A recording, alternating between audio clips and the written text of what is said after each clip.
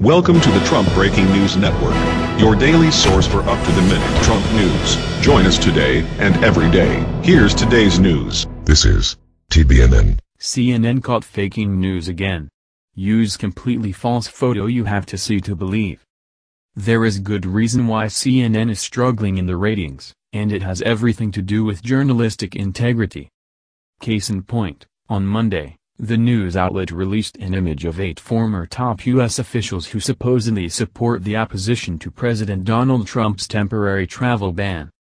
The image included a picture of John McLaughlin, host of the The McLaughlin Group Public Affairs show, who died last year. Presumably CNN meant to post a picture of the former CIA director of the same name. So they got the wrong guy, and he was dead too. The mistake didn't go unnoticed. Some people criticized the network for promoting fake news. Again. Viewers blamed carelessness and or apathy. Others predicted a dire future for the cable network. This kind of error is embarrassing, and no reputable news outlet should make such a mistake. However, CNN does this kind of thing far too often, and it's a big problem for liberal news outlets. The mainstream media not only paint themselves as professionals, they would like the world to believe they are the only ones qualified to bring the news to the people because blogs and alternative media aren't reliable.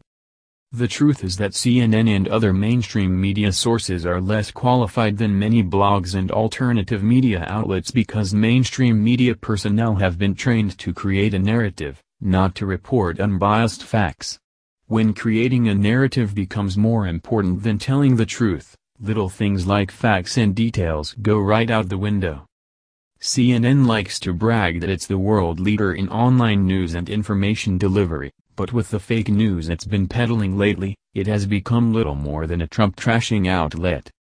CNN reported lies about Trump and his cabinet picks, misrepresented facts about Republicans in Congress and twisted information to get readers to click on its stories.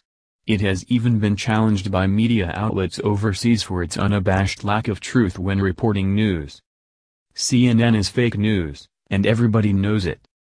Share this story on Facebook and Twitter if you agree that CNN is the king of fake news outlets. What do you think of CNN using the wrong photo of John McLaughlin in one of its graphics? Scroll down to comment below. That's the news. Join us here every day. Be sure to subscribe and click the bell. See you next time. This is TBNN.